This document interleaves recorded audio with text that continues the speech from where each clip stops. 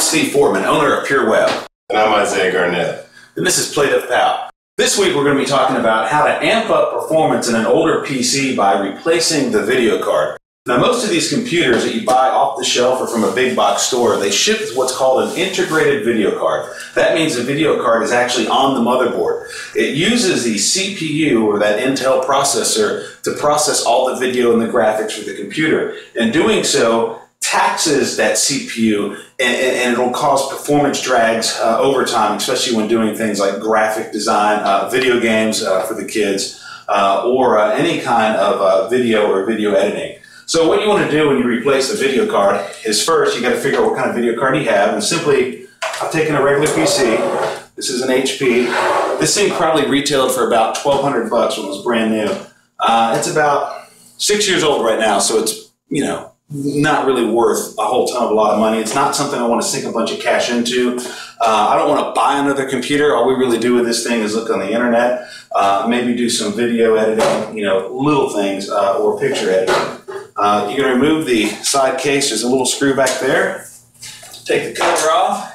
And inside, uh, you'll have a video card. And what's going to happen is, is there's usually a little piece that holds the back end here so you can take the video card out if it happens to be one that's actually on the board. Uh, and just for demonstration's sake, I'll show you here. That's what it looks like. That's a video card. So putting it in is just a reverse of that. So you would go and you would find out what kind of video card is able to be used in the computer that you want to replace. Uh, you're going to find out like this is what's called PCI. Uh, it could be PCI Express, or if it's really stinking old, it's going to be AGP. If you end up with something that takes AGP, uh, you should probably just discard the entire can because it's not going to be worth upgrading. It's what we call uh, in the industry a boat anchor. Uh, putting it back in is really simple. Uh, there's really no screws except for the one right there. There's no wires to connect unless you buy a really high dollar video card.